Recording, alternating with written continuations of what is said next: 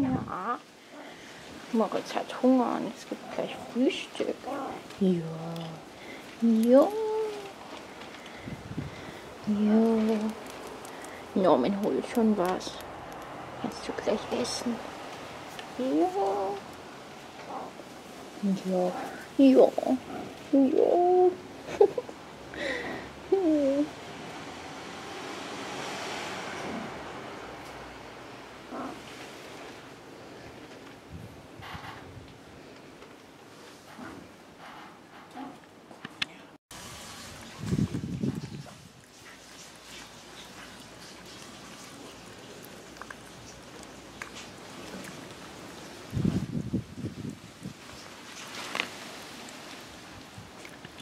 Ich hatte ja jetzt eine ziemlich lange Videopause gemacht.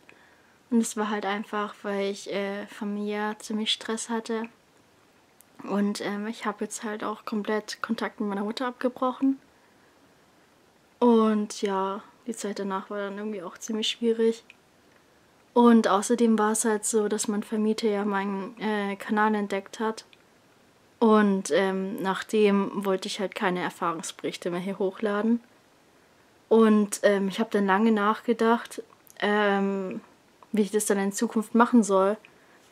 Und ähm, ich dachte mir dann so, dass die beste Idee eigentlich ist, wenn ich einen zweiten Kanal mache. Den werde ich dann noch in Zukunft einrichten. Ich werde ähm, einige alte Videos, also Erfahrungsberichte, dann auf den neuen Kanal hochladen.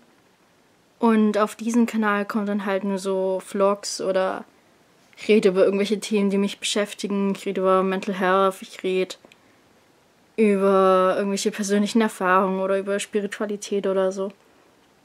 Und ähm, auf dem neuen Kanal sind dann lediglich die Erfahrungsberichte. Ähm, ja, und ich denke, das ist halt einfach so die beste Lösung, weil ich habe eigentlich schon Lust weiterzumachen und ähm, keine Ahnung. Ich fände es halt schade, wenn ich das jetzt irgendwie so komplett stoppen würde. Habe mir vor einiger Zeit so ein Kindheitstraum erfüllt. Ich wollte es als Kind nämlich immer haben. Und ich habe es mir vor einiger Zeit gekauft, dann stand es aber erstmal nur im Keller. und äh, ja, jetzt habe ich vor zwei Tagen hier angefangen mit dem Zeug. Also genau, ich mache hier gerade so lauter Gipspyramiden. Und darauf werde ich dann Kristalle züchten. Und ähm, hier in dem Glas habe ich jetzt vorhin auch eine Kristalllösung gemacht. Da werden sich die Kristalle dann am Boden absetzen und ähm, werden dann so grünlich sein, ist Farbe drin. Und äh, da will ich auch so nachtleuchtende Kristalle machen. Hier löse ich gerade Alaun-Kristalle auf. Ähm, und ich muss es erhitzen, weil je heißer was ist, umso mehr Löslichkeit hat es. Und ähm, hier ist dann der Farbstoff. Also das werden dann so rosa-lila Kristalle. Und das tue ich dann da drauf. Dann habe ich so fancy Pyramiden mit Kristallen. Muss noch ein paar Tage entstehen lassen.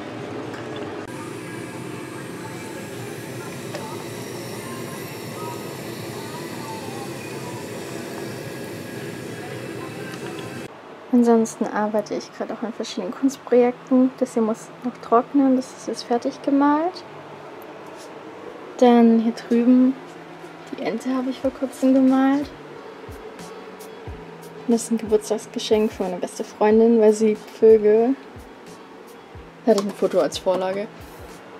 Ähm, hier habe ich eine alte Zeichnung ausgeschnitten vom Papier und dann auf ein anderes Papier hier drauf geklebt wo ich Acrylic Pouring gemacht habe und das dann auf eine Leinwand geklebt.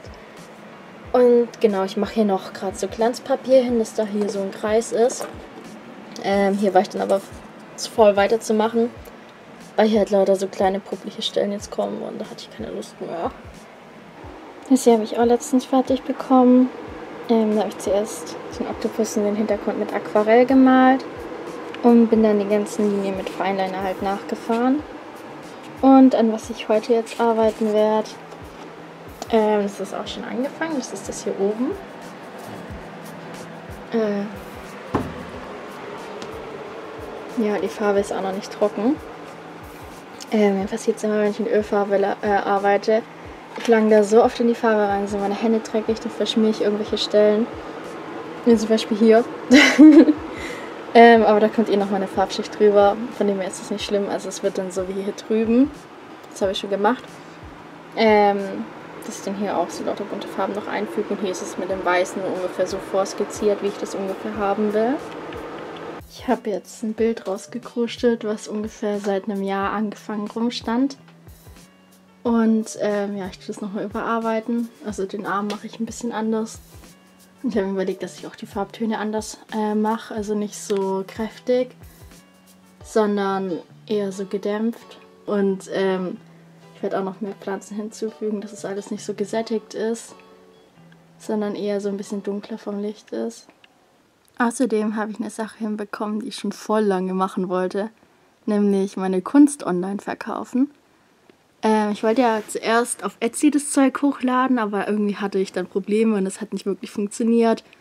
Äh, mit meiner Bankkarte und so, dass das irgendwie da angegeben wird. Irgendwie hat es da alles rumgesponnen. Und ähm, deswegen habe ich jetzt die Sachen auf eBay Kleinanzeigen hochgeladen. Das Ganze ist da auch kostenlos. Bei Etsy hätte ich jetzt eine Gebühr immer zahlen müssen, wenn ich was verkaufe. Und bei eBay ist es halt einfach praktischer. Das haben viel mehr Leute. Und ähm, es kostet halt für mich nichts. Und ja, ich werde dann in die äh, Videobeschreibung einen Link rein tun und ihr könnt euch das Ganze mal anschauen. Und wenn ihr Lust habt, auch was kaufen, das würde mich mega freuen. Also ich habe da zum einen Sachen auf Leinwand, aber auch zum Beispiel auf Papier. Dann manche Sachen sind gerahmt ähm, und manche Sachen sind dann halt ähm, so eher expressionistisch. Dann äh, habe ich auch noch so ein paar abstrakte Sachen und ähm, wo man halt auch so den Einfluss von Psychedelika sieht. Oder die halt genau Psychedelika halt wirklich als zentrales Thema haben.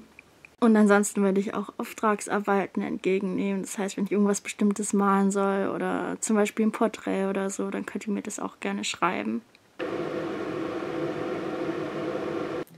Ich lese gerade dieses Buch und ich finde es eigentlich ziemlich gut. Ähm, das spielt in den 60er Jahren ähm, und handelt von Timothy Leary, den kennt ihr vielleicht. Der hat ja einige Experimente zu LSD gemacht und auch zu Pilzen.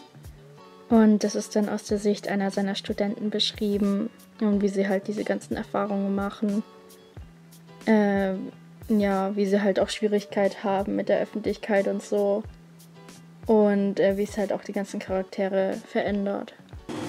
Gerade stelle ich hier so nachtleuchtende Kristalle her. Ähm, da habe ich vorher schon so farbige Kristalle gezüchtet und das dann da drauf. Und dann kristallisiert sich das Nachtleuchtende dann so um die Kristalle da herum.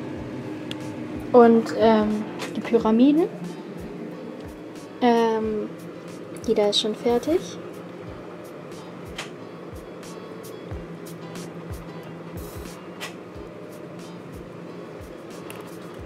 Das waren so Nebenprodukte, die dann halt so auch noch dabei entstanden sind. Hier ist ein riesiger Kristall dran gewachsen und hat die zwei Pyramiden miteinander verbunden. Und hier ist noch der Rest. Ähm, da sind noch nicht so ganz so viele Kristalle drauf gewachsen. Deswegen habe ich dann nochmal ähm, eine Lösung hergestellt und ähm, schaue, dass da jetzt noch mehr wachsen.